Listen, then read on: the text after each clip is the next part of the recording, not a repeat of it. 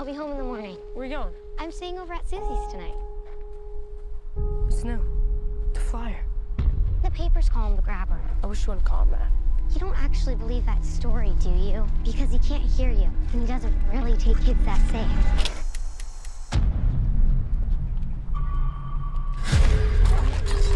Oh, you goof. Well, isn't that just peachy keen? You need some help? You see that? Would you hand me my hat? Yes, sir. I am a part-time magician. Are those black balloons in there? Would you like to see a magic trick? I have an announcement to make. One of our students, Finney Blake, was abducted. What if I could help the police find Finney?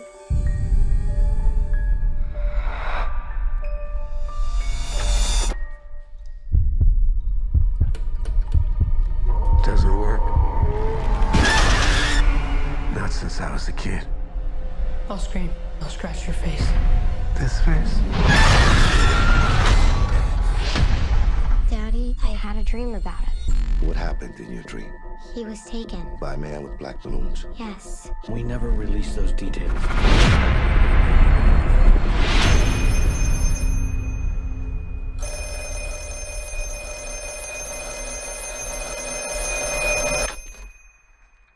Hello? Don't hang up. Who are you? You know all our names? You're getting out of here. Please, please let the dreams be real. See the wall in front of you? I tore a long cable loose from down there. There's a combination lock on the inside of the storm door. What's the combination? I carved it in the wall. The tree, the door, the gate. I'd never seen it before except in my dreams. You don't have much time. You're gonna use a weapon. You raise the phone, step back, and swing. Look what you made me do. Please hurry. You remember what I told you? There's someday I have to stand up for myself.